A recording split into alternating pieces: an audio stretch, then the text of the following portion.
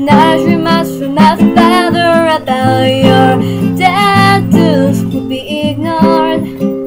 Cause my heart is yours, and you say that.